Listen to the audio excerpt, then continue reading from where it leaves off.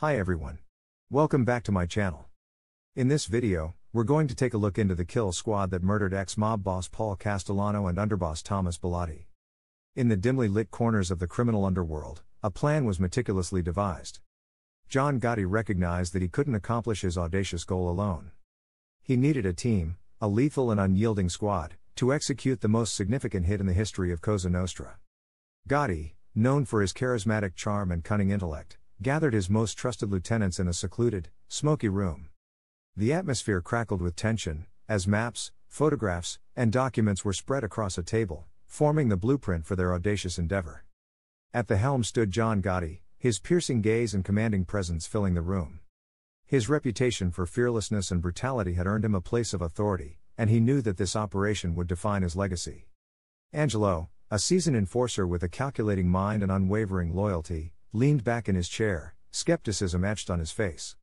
He understood the magnitude of their target, Paul Castellano, a former mob boss who had fallen out of favor and was now heavily guarded. Hitting him would be a declaration of war, sending shockwaves throughout the entire mafia. But Gotti, fueled by a fiery determination and an unyielding desire for power, saw this as their moment. He believed that the time had come to strike, to dismantle the old guard and assert his dominance. He knew that success required the perfect team, an assembly of skilled and dedicated individuals, willing to sacrifice everything for the cause. Sammy, a tough and fearless captain, his eyes blazing with a mixture of anger and resolve, voiced his support. He recognized the risks involved, yet his unwavering loyalty to Gotti propelled him forward.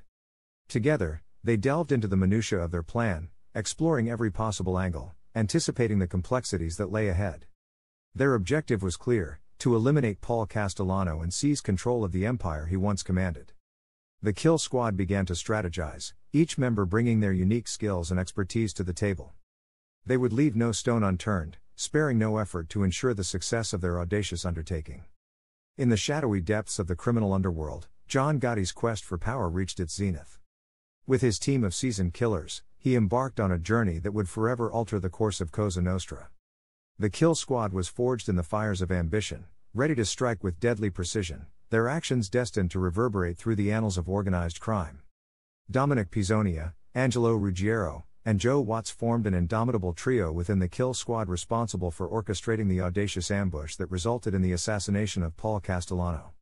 These three formidable mobsters, renowned for their exceptional driving skills, were the linchpins of the team, ensuring a swift and seamless escape from the scene. Dominic Pizzonia, with his unassuming demeanor and sharp intellect, proved to be a crucial asset.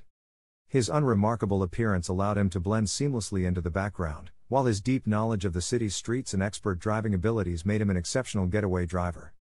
Dominic's cool and collected demeanor, combined with his ability to adapt quickly to changing circumstances, earned him the trust and respect of his comrades. Angelo Ruggiero, a force to be reckoned with, possessed an air of silent strength and a reputation that instilled fear in his enemies.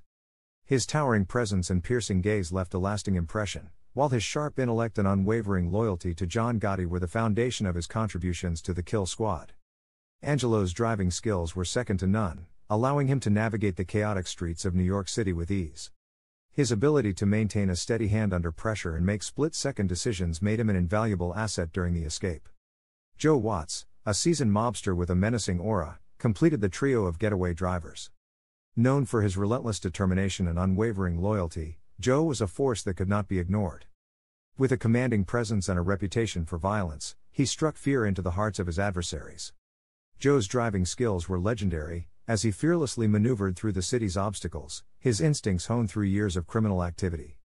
As the chaos erupted following the ambush, they flawlessly executed their roles, coordinating their driving maneuvers with precision, ensuring the team's escape while leaving their pursuers in disarray.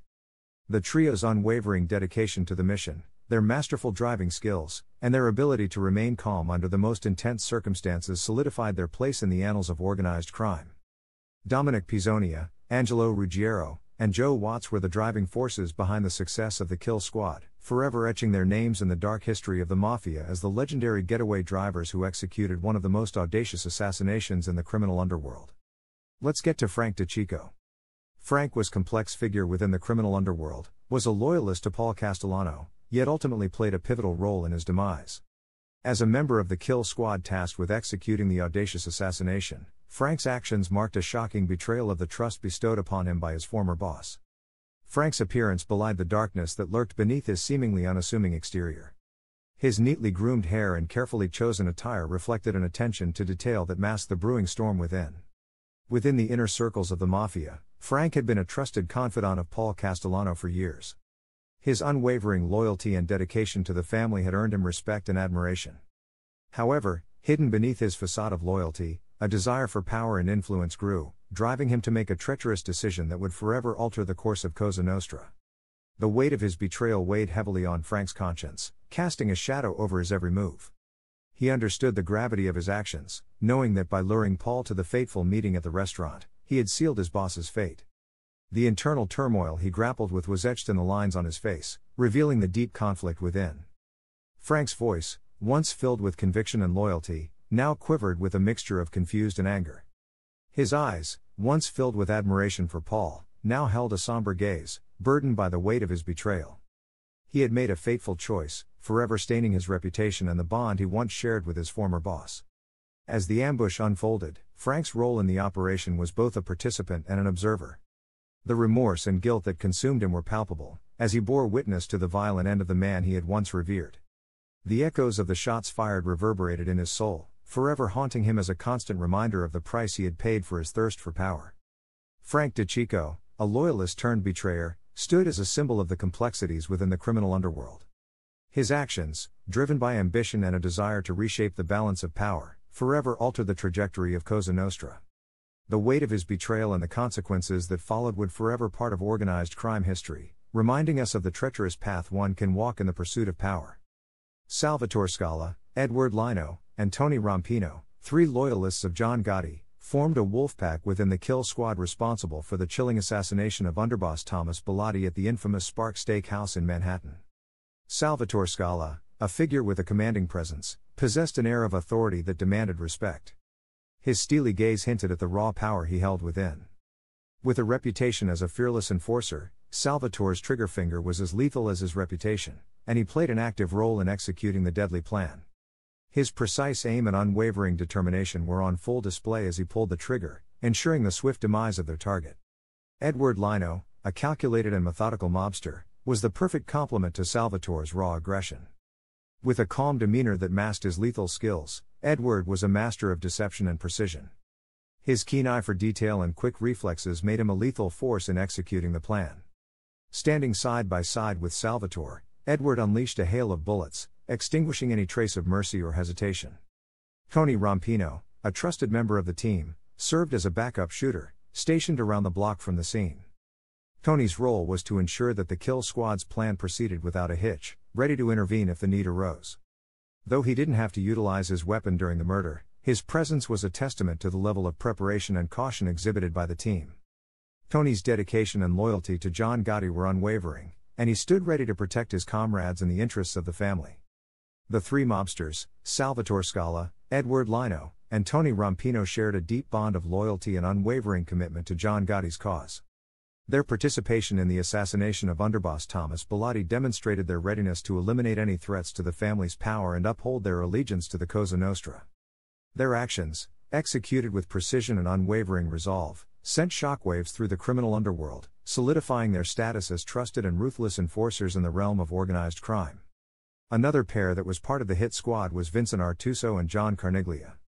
Both were loyal to John Gotti's faction and played integral roles within the group responsible for the brazen assassination of Gambino boss Paul Castellano.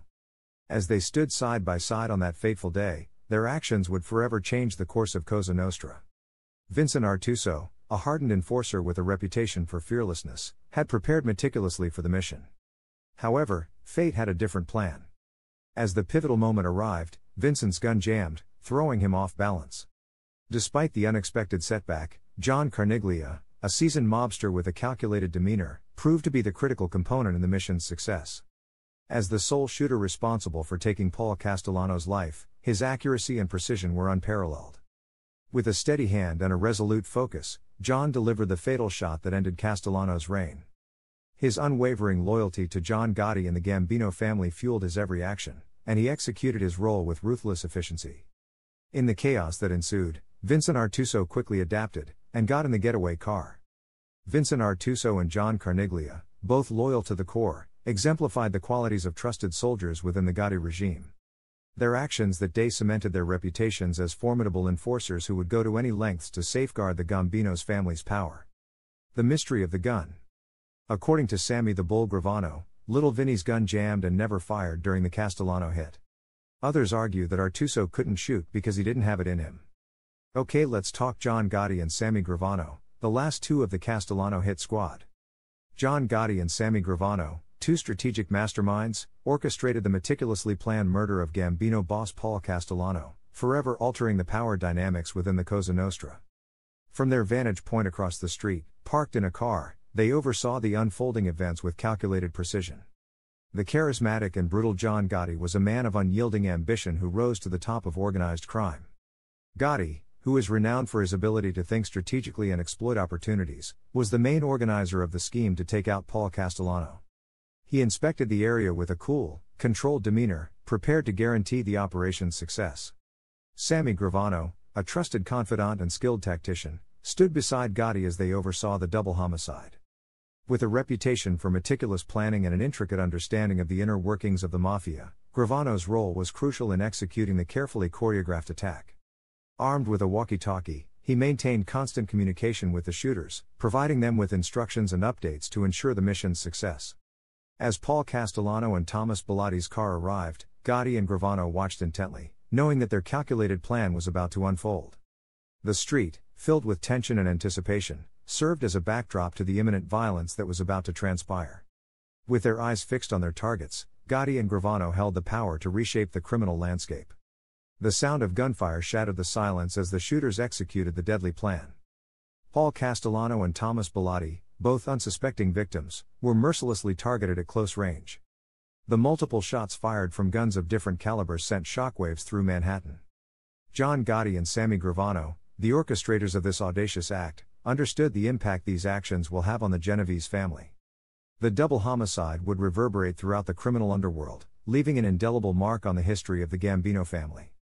Their calculated planning, strategic oversight, and meticulous coordination ensured the success of the mission forever solidifying their positions as formidable figures within the realm of organized crime.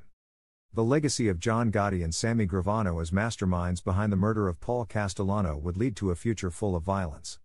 Their calculated ruthlessness allowed them to strike first against Paul Castellano's faction. Okay, that's it for now. Thanks for watching. Don't forget to like and subscribe for more character breakdowns and analysis of your favorite gangsters. See you in the next one.